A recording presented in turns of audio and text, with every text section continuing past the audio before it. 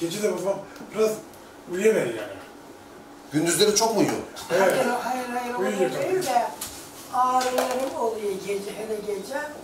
Neren ağrıyor abla gece? Sanki böyle bütün kemiklerimi kesmişler de oralara sanki böyle et kaynağı gibi ben öyle hissediyorum.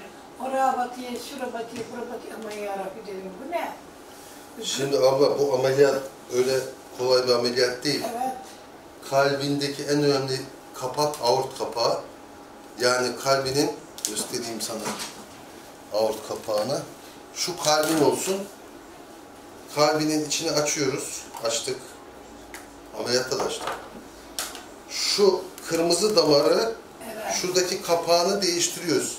Yani kalp basınca bütün vücuda giden kanı ilk dokunduğu kapağı değiştiriyoruz ve bu kapak normalde damarın dar olduğu için aslında küçük koyulması gerekirken biz damarı biraz genişletip daha büyük koyduk. Ki böylece kan çok daha rahat gitsin, nefes darlığın, eski sıkıntıların azalsın diye. Şimdi aslında senin eski sıkıntın yok ama ameliyattan dolayı sağ solun ağrıyor devam. Evet, O biraz da e, hareketsizliğe bağlı. Yani sen gündüzleri bir miktar dolaşacaksın, orada dolaşacak. yürüyeceksin. Heh, yürüyeceksin, normal hayata karışacaksın. Ama maske tak, mikrop kapma. Ee, öbür türlü de akşamda yatacaksın. Tamam. Sen bunları yer değiştirdiğin zaman, yani gündüzleri yatarsan e, rahat etmezsin yani, o, onu söyleyeyim. O yüzden gündüzleri dolaş, hayata karış artık. Ameliyat olalı kaç gün oldu? Bir buçuk hafta falan olacak. Bir buçuk hafta, daha yine yenisin.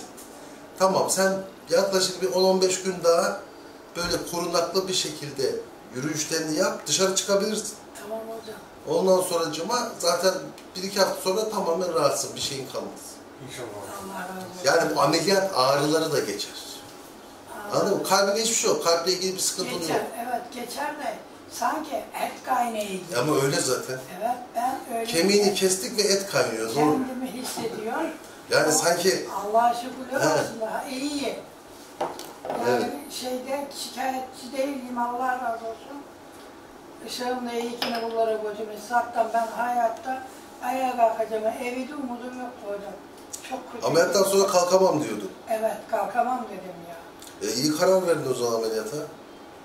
Ameliyattan başka şansın yoktu abla, kapağın çok kötüydü. Ben hocam zaten Nefes alamazdın, kendi akciğerin su dolardı. Bir de var ya, evde böyle normal yatarken sen beni eve gönderdin ya, üç defa kriz geldi. Evet. Ha gittim ha gittim, o şekilde. Ama Cenab-ı Allah işte öldürmeyince öldürmüyormuş. Rabbim öldürmeyince öldürmüyormuş hocam. Yani şükürler olsun sayenizde. Hayatıma kavuştum neden? Ben bunları hes geçtim zaten. Şimdi ona bir iki hafta daha ver o ağrılara, kas ağrılarına. Ondan sonra normal 18 yaşındaki gibi gezeceğim ben. herhalde. İnşallah hocam. Ama benim işim beni çok kısıtlı ya.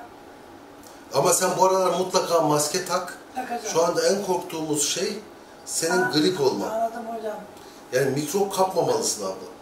Anladım. En azından şunu bir iki hafta daha. Tamam. Anlatabildim mi?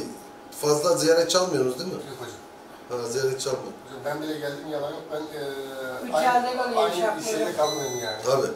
Mümkün olduğu kadar ziyaretçi alma. Ee, evde mutlaka dolaş evde. Bir kere de gündüz veya iki kere artık seni korunaklı bir şekilde dışarı çıkarsınlar. Şöyle düz yolda güzelce bir yürü. Tamam. Tamam. Evin etrafı düz zaten. Evin etrafında yürü. Kimseyle konuşmadan yürü maskeni de tak. Tamam. Hava şimdi güzelleşti biraz yürü. Durum bu.